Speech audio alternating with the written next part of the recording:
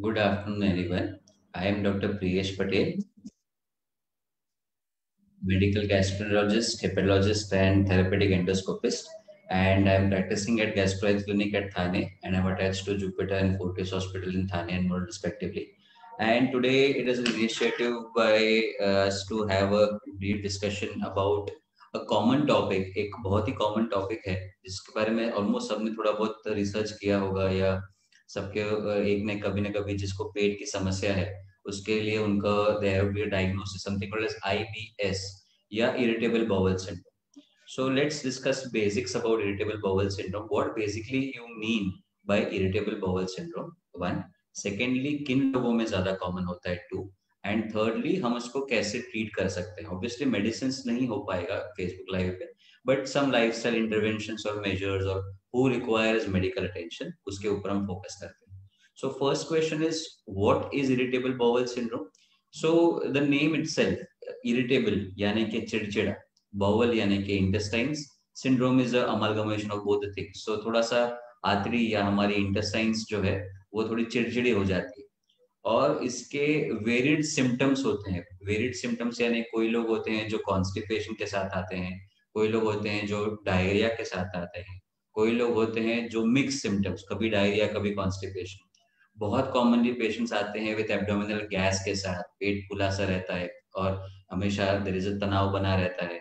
Some patient से के रात को नींद में से उठना पड़ता है बिकॉज़ ऑफ़ गैस या फ्लोटिंग है डकारे बहुत आती है या कोई बोलता है कि खाना हजम नहीं होता। सो so, इसलिए सिंड्रोम यूज़ किया गया है कि एक कोई पर्टिकुलर चीज़ नहीं है कि बुखार आता है या सर्दी होती है नहीं पेट के रिलेटेड जो भी आपको सिम्टम लगते हैं वो सारे के सारे इरिटेबल बोवल सिंड्रोम में हम आ, पाते हैं हमको हमको पता चलता है कि इरिटेबल बोवल सिंड्रोम में।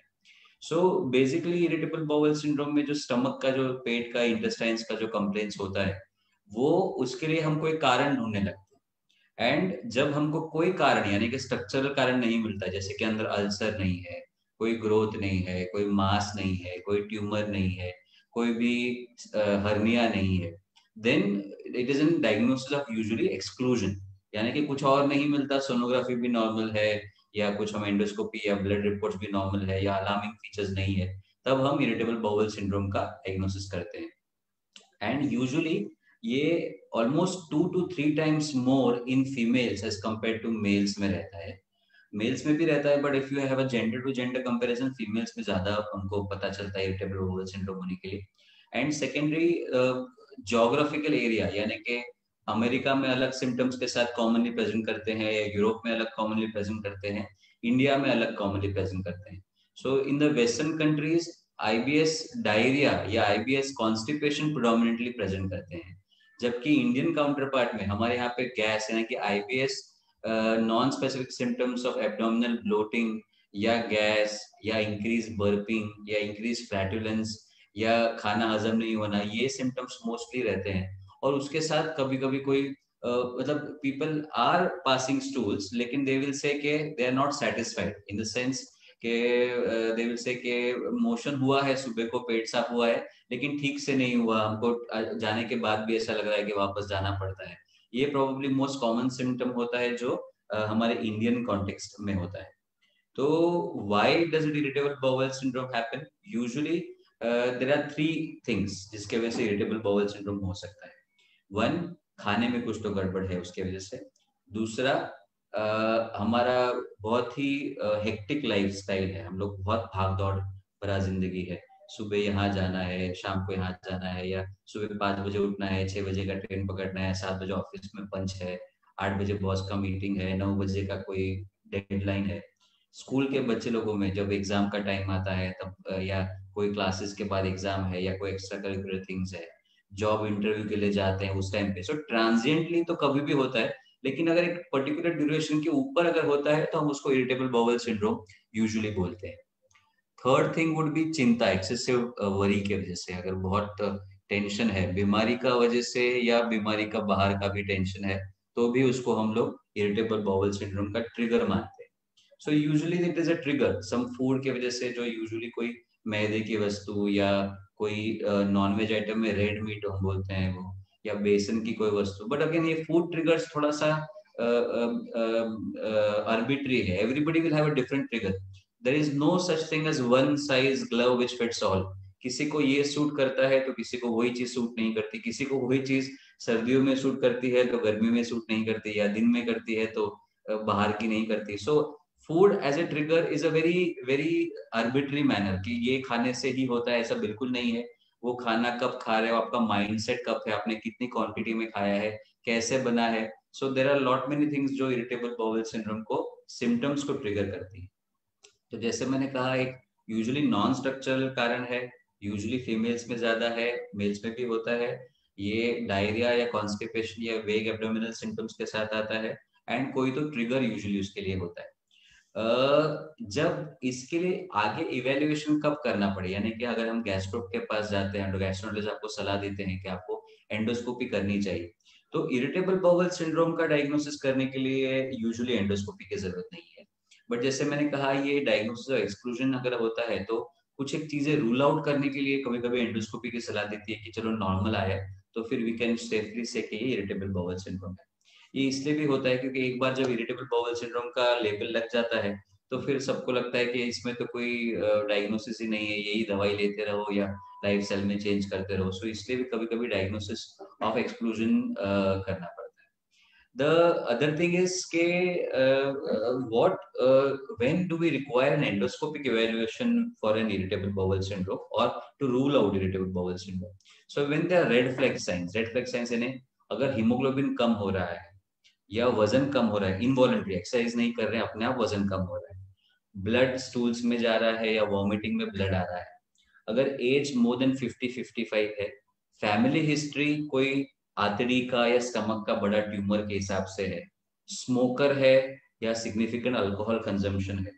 और कोई बीमारी है, जैसे कि रूमेटेड ऑर्थराइटिस जिसके लिए हम लंबे समय से पेन किलर लिए जा रहे हैं। या और कोई बीमारी है, जैसे अनकंट्रोल्ड डायबिटीज़ लेकिन अपना सिम्टम्स स्टमक के रिलेटेड ज़्यादा है। Then in that context endoscopic evaluation ज़रूरी बन जाता है। Otherwise medically history clinical symptoms and obviously जो बेसिक ब्लड रिपोर्ट्स या स्टूल का रिपोर्ट्स एंड एक sonography is more than sufficient to make a diagnosis of a irritable bowel syndrome severity इसका severity depends on the patient to patient जैसे कि एक threshold के ऊपर रहता है। यानी जैसे मैं एक एग्जांपल देता हूँ अपने पेशेंट को बहुत कॉमनली कि किसी ने थप्पड़ मारा। तो कोई एक होगा जो रिएक्शन के सिर्फ़ गाल पे हाथ लगा के ओके थप्पड़ लगाए। और कोई एक इतना ज़ोर से चिल्लाएगा कि बाप रे, कितना ज़ोर से। स्कूल में जब हमको कभी आई डोंट नो आजकल के बच्चों को मार पड़ती है क्या नहीं पड़ती बट हमको जब मार पड़ती थी तो हर एक का एक अलग रिएक्शन होता था। कोई एक ज़्यादा ही ये होता था, कोई खड़ा रहता था या खड़ी रहती थी कि कुछ भी नहीं हुआ। सो हर एक का threshold for pain is different तो हर एक का severity of symptoms will be different तो उसमें कोई one size again I am repeating a statement one size glove which fits all वैसे वाला सिचुएशन नहीं रहता है। मोस्ट कॉमनली ये, जैसे मैंने कहा, कोई ट्रिगर अगर रहता है तो ट्रीटमेंट वो ट्रिगर को निकालने पे है। जैसे बहुत लोग बोलते हैं कि फ़ूड से है तो अगर somebody okay some particular food आपको नहीं सूट होता है। अगर किसी ने, कोई लोग बोलते हैं मिल्क पीते हैं तो उनको गैस ज़्यादा होती है, या एसिडिटी ज़्यादा होती है, या ब्लोटिंग ज़्यादा होता है। अगर वो लोग मिल्क अवॉइड करके देखते हैं तो usually they are better off तो वो ट्रिगर नहीं है तो इरिटेबल बाउल सिंड्रोम के जो सिम्टम्स होते हैं, वो नहीं आते. कोई लोग होते हैं जो यूजुअली एक हेक्टिक लाइफस्टाइल या होता है तो ऑब्वियसली थोड़ा सा एक सेल्फ टाइम देने में, एक half an hour of time for yourself in the twenty four hour period एक half an hour for yourself where you do what you like to do. Reading या listening to music और maybe एक walk. ये बहुत important है. Actually physical activity wherein के आप थोड़ा सा पसीना बहाओ चाहे आप साइकिलिंग करो वॉकिंग करो, सीढ़ियाँ चढ़ना, उतरना करो या जिम ज्वाइन करो whatever is good for you जो या एक स्पोर्ट प्ले करो। So that releases some good hormones and जिसके वजह से the symptoms and the the science of irritable bowel syndrome are very much under control apart from medicine obviously because long term medicine का कोई role नहीं है। Yes initially symptoms अगर बढ़ जाते हैं तो मेडिसिन देते हैं हम लोग। एंड वो एक अलग जॉनर है कि कौन सी मेडिसिन होती है। तो अगेन जैसे सिम्टम्स के ऊपर मेडिसिन रहती है। किसी को diarrhoea predominant irritable bowel syndrome है तो उनके लिए एक अलग से मेडिसिन होती है। किसी को कॉन्स्टिपेशन प्रोडोमिनेंट है तो हम उनको डायरिया वाली मेडिसिन नहीं दे सकते। ऑब्वियसली ऑलरेडी उनको कॉन्स्टिपेशन है। तो अगर डायरिया का मेडिसिन कैसे काम आएगा मिक्स सिम्टम्स के लिए कॉमन कोई मेडिसिन रहती है। Apart from pharmacological therapy what therapies have कहा लाइफ स्टाइल इंटरवेंशन जहाँ पे physical activity and exercise of half an hour of physical activity is the most important aspect secondly जैसे कोई there are certain Chinese study Chinese herbal medicine होते हैं कोई तो जो they have been few studies which are effective I would not recommend that because ऐसा कोई बड़ा पेपर नहीं है which says there are head to head comparison हुआ है and we do not know the content just because we do not know the content and somebody has said that it is herbal or somebody has said that it is ayurveda or homeopathy that does not mean that it is safe for sure तो please अगर आप लेना चाहते हैं तो किसी एक अच्छे डॉक्टर को सलाह लेके ही लेना चाहिए होम uh, रेमेडीज में आई थिंक एक्सरसाइज या उसके अलावा सम पीपल से एक्यूपंचर ऑफ़ भी यूजफुल होता है सो so, एक्यूपंचर से भी लोग ट्राई करते हैं but again these are all transiently beneficial होता है जैसे आज एक्यूपंचर किया तो दो दिन अच्छा है उसके बाद अच्छा नहीं है वापस कोई दरअसल डॉक्टर चेंज होता है। फिर वापस उसने कुछ तो दवाई दिया उससे ट्रांजिएंटली बेटर होता है। तो usually most of the times ये कोई डिज़ीज़ uh, स्पेसिफिक uh, नहीं है आपको सिम्टम स्पेसिफिक ही ट्रीट करना है। और सिम्टम स्पेसिफिक ट्रीटमेंट की भी एक पर्टिकुलर मर्यादा रहती है टाइम ड्यूरेशन रहता है कि आप इसको इतना तक ट्रीट करो। यूजुअली जैसे मैंने कहा जो आप ट्रिगर अगर आप आइडेंटिफाई कर लेते हो और अगर हम वो ट्रिगर को ट्रीट करते हैं तो उसके बाद यूजली मेडिसिन का ज़्यादा ज़रूरत नहीं रहता है। Third thing most important thing के इज़ इट अलार्मिंग अगर इरिटेबल बाउल सिंड्रोम है तो इससे किसी को जान का खतरा, आगे जाके कोई बड़ी बीमारी, आगे जाके कोई बड़ा सर्जरी का रिक्वायरमेंट रहता है क्या? The answer is no it is not a life threatening disorder at all though the symptoms are very severe the symptoms होते हैं और क्या होता है मोस्ट कॉमन सिनेरियो के कोई पेशेंट इरिटेबल बाउल सिंड्रोम का आता है सीवियर पेन के साथ होता है या कोई डिस्कम्फर्ट के साथ होता है। कोई रिपोर्ट नेगेटिव आते हैं तो उनको ना उतना सिंपथी नहीं मिलता। मतलब रिलेटिव्स भी बोलते इतना खर्चा करवा लिया, इतना टेस्ट किया, कुछ भी नहीं निकला। Unfortunately that is a wrong mind set I mean हर एक का सफरिंग अलग है। आई के नॉट जस्टिफाई के आपको इतना पेन क्यों हो रहा है, आपको इतना पेन कम क्यों हो रहा है। That is no justification for that particular symptom पर से So when you are having a symptom, you have to be treated. That is the only take-home message from here on. But rest assured, uh, positive reinforcement बहुत ज़रूरी है because the patient needs to know and needs to be reinforced again and again कि ये life threatening condition नहीं है इसके वजह से जान को खतरा नहीं है और सबसे इम्पोर्टेंट इसका कोई सर्जिकल क्योर भी नहीं है कि आप ये वाला सर्जरी कर दो और मुझे हमेशा के लिए छुटकारा मिल जाएगा ऐसा कोई surgical cure irritable bowel syndrome के लिए नहीं है। जो ओवरलैपिंग सिम्टम्स होते हैं, काफ़ी सारे सिम्टम्स जीआई के इरिटेबल बाउल सिंड्रोम जैसे ही लगते हैं, जो अल्सरेटिकुलाइटिस में जब तक ब्लीडिंग नहीं होती तो ब्लोटिंग होता है या कॉन्स्टिपेशन होता है तो उसके लिए जब हम इवेल्युएट करके डायग्नोसिस करते हैं तो उस उस पर्टिकुलर कंडीशन के लिए स्पेसिफिक ट्रीटमेंट मेडिकल थेरेपी होती है, जिसको हमको रूल आउट करके उसके हिसाब से जाना चाहिए। So all in all irritable bowel syndrome is usually a disorder.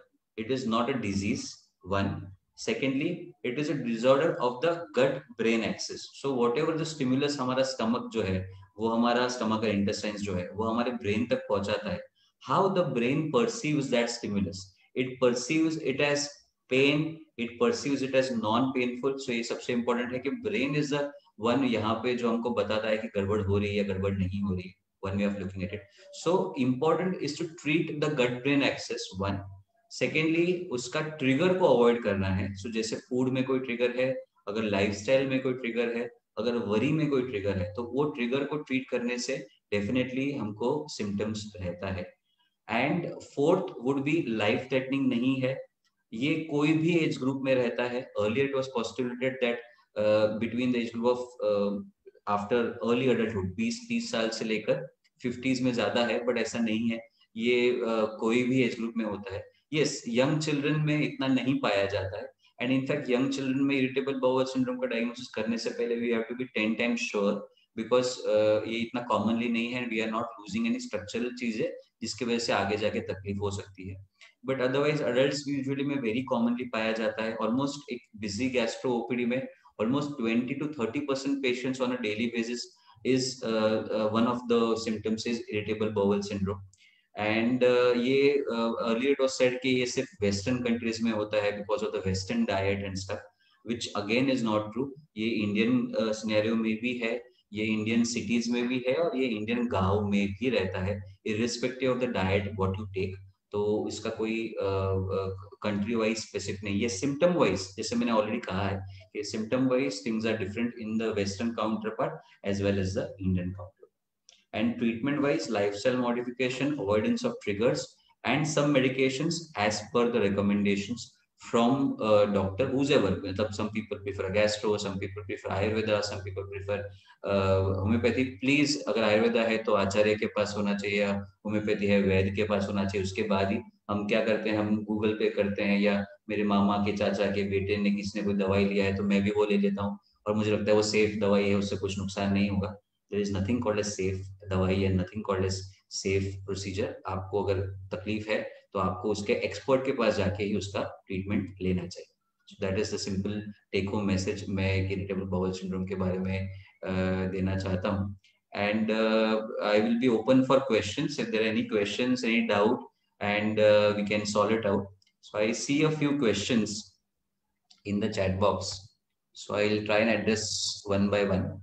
So first thing was how to assess the severity of IBS from symptoms. So again, severity of symptoms, जैसे मैंने कहा, it is usually a subjective phenomena. As I, I not somebody will have stomach pain and he is or she is comfortably sitting in front of me in the OPD, and somebody will be tossing in bread from yaha se wahan and and who want your attention constantly and urgently ki mujhe bahut takleef ho rahi hai.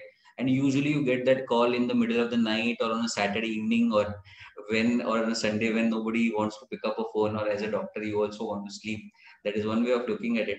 So uh, uh, there is no way to assess the severity of the symptoms but yes i will tell you a few alarming features. If you have those alarming features please visit the nearest doctor to your house. Don't wait for anybody to receive your call or don't wait for home remedies to act. वो हो रहा है तो please आप जहाँ के local casualty कोई भी हॉस्पिटल या डॉक्टर के पास जाना है So if you have severe pain which is not getting relief by conventional medicines जो आपके घर पे है जो यूजुअली सबके घर पे एंटासिड या कोई तो डाइजीन या समथिंग कुछ रहता है अगर वो मेडिसिन से आपका पेन कंट्रोल नहीं हो रहा है आपको लोकली कहीं तो जाना है अगर ब्लड आ रहा है स्टूल्स में तो आपको इमीडिएटली डॉक्टर के पास जाना है।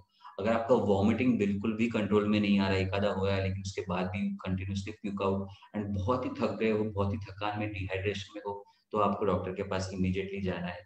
अगर आपको सीवियर एब्डोमिनल डिस्टेंशन हो गया है, पेट बहुत ही फूल गया है, और मोशन नहीं हो रहा है, और सबसे इंपॉर्टेंट गैस भी नहीं छूट रही, नीचे से अगर गैस भी नहीं छूट रही है नीचे से मोशन भी नहीं छूट रहा है तो हो सकता है कोई ऑब्स्ट्रक्शन हो तो इमीडिएटली हमको डॉक्टर के पास जाना है। या फिर ऑब्वियसली अगर आपको बहुत तेज बुखार वगैरह कुछ अगर हो और आपको ठंडी लग रहा है वो दवाई से कंट्रोल नहीं हो रहा है तो आपको लोकली दिखना है। बाकी सिवियरिटी ऑफ़ सिम्टम्स का मेडिकल असेसमेंट और ट्रीटमेंट और severity of irritable bowel syndrome से कोई लेना देना नहीं। कोई इरिटेबल बोवल सिंड्रोम रहेगा जिसके सिम्टम्स आसमान पे रहेंगे, कोई इरिटेबल बोवल सिंड्रोम रहेगा जो थोड़ा बहुत ठीक है, लेकिन कुछ तो उसको अटेंशन की ज़रूरत है। Maybe in some of counsel form of some counselling और some medicine next question can IBS be permanently cured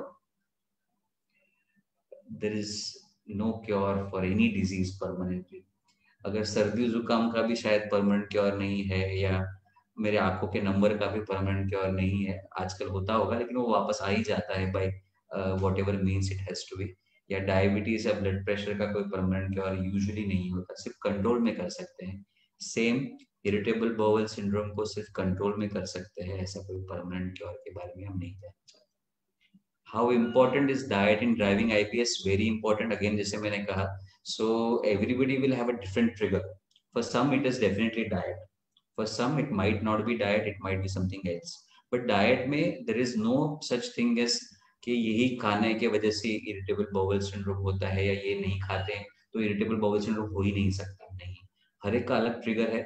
Most common food items milk and milk products maida refined flour so anything which is not flour sorry flour refined flour anything which is of refined flour so what I patients bread pav biscuit khari Marie or uh, Patanjali or Baba Ramdev or whatever, pizza, burger, Domino's, Pizza Hut. So anything which is maida in it usually is a trigger. Red meat, uh, mutton or beef is usually a trigger. And otherwise, uh, people will know their own trigger. Some people will say मैं banana खाता हूँ तो मुझे गड़बड़ है. Some people will say मैं pineapple खाता हूँ तो होता है. Some people say कि मैं अगर wheat खाता हूँ तो होता है. Otherwise नहीं होता है. So everybody has a different diet trigger. we need to find out okay, which diet you are suffering from and uske avoidance if it is possible to avoid say avoidance If you are better then obviously uh, you have irritable bowel syndrome which is related to a particular diet otherwise the trigger may be something else is IBS age specific or it can occur at any age? I think I have answered that. It can occur at any age, but very young children, it is very unlikely. So uh, there is a saying in English which says that uh, your eyes only see what the mind already knows. So I think young children do not know IBS. They have not read on Google or they have not seen Dr. Priya of Facebook Live. So, so I think young children are not having much of IBS, but yes, uh, most common age group is after the teens, adult, early adulthood, and uh, somewhere in middle age, between 30 to 40 in that range, where uh, irritable bowel syndromes, mostly after 40s, is zyada common hai Maybe because I think why it happens is when you are young, no, we don't tend to exercise and हम कुछ भी कचरा वचरा खा लेते हैं रात भर का नींद नहीं and we can work 16 hours 18 hours that stress is a different story our body is not taking that much of stress or it is coping up with that but we try to do the same things once once we are across 30s or 40s we try to have a nice party with friends overnight or maybe रात भर काम करके दिन में office जाने का कोशिश और whatever whatever so maybe that age is catching up in the 30 40 and our lifestyle is not uh, really changed in that context maybe that works um, there's one more question any recommendation of medicines or molecules of IBS? Most commonly, uh, rifaximin is one molecule which has been commonly prescribed for IBS. So the advantage of rifaximin is that it also helps in uh, small intestinal bacterial overgrowth. So अगर most of the trigger of IBS अगर bacterial overgrowth की वजह से है small intestine bacterial overgrowth की वजह से है so there is relation between SIBO and IBS तो अगर rifaximin will treat it and definitely the symptoms will be much much better in a rifaximin combination apart from rifaximin again there are symptomatic treatments जैसे मैंने कहा, किसी को diarrhoea है तो rifaximin should be useful for constipation predominant rifaximin may not be the drug of choice there be other treatment choices for constipation predominant for IPS And for mixed period, again, we have to have a, a difference between ki kya predominant symptom and what the patient is basically suffering from. And then the symptomatic medicines would be of the most important care for sure. and uh, i think we'll uh, stop here and uh, bus just before the take home message i think i need to uh, revise any message i need to give my patients especially with ibs Most important thing, ke please, there is nothing to panic. It is not a life threatening disorder. One. Secondly, there is no surgical or permanent cure, but there is definitely a symptom improvement or it does not have to be कि आपको सिर्फ़ दवाई ही लेना पड़ेगा कि आपका symptom आ गया IBS तो आपको ज़िंदगी भर दवाई लेना पड़ेगा ऐसा कुछ भी नहीं है आपके लाइफस्टाइल पे फोकस से most of the times you may not require medicine और शायद साल में एक बार जैसे कभी सर्दी जुकाम हो गया, वो अपने हाथ में नहीं है। वैसे इरिटेबल बाउल का सिंड्रोम अगर हो जाता है तो वो ट्रिगर की वजह से हम उतना टेम्पररी मेडिसिन ले सकते हैं। बाकी ऐसा कोई, उसमें कोई डरने जैसा बात बिल्कुल भी नहीं है। And third don't make a diagnosis of irritable bowel syndrome on your own मतलब कि डॉक्टर मुझे irritable bowel syndrome no. Please get evaluated by whoever you think once because अगर कुछ है जो स्ट्रक्चरल कारण है हर्निया है या हाइड्रोसीट है या या अल्सर है या ग्रोथ है या एनीथिंग एनी स्ट्रक्चरल थिंग्स और any other metabolic disease diabetes है या रोमेटॉइड है या थायराइड है या कोलेस्ट्रॉल इश्यूज़ है या आपका कार्डियक इवेंट तो doctor will know to find out and rule it out and treat it properly नहीं तो वो बाजू में रह जाएगा और वो बड़ा होके बड़े स्वरूप में आ जाएगा और हमने एक इरिटेबल बोवल सिंड्रोम का ही डायग्नोसिस पकड़ के चलेंगे। which should not be the uh, whole idea about it at this point of time. So I think uh, this would be my uh, take home message. And thank you so much for your questions. Thank you so much for your time. I would be available uh, for any questions on Facebook and you can pass on the message. I will not be prescribing any medicines for sure. That will be one way that is I do not do that. But yes, anything and we can continue in that regards. And I uh, thank uh, thank the Sinsen Pharma for giving me an opportunity and the time for uh, delivering a talk on irritable bowel syndrome for patient awareness. Thank you so much.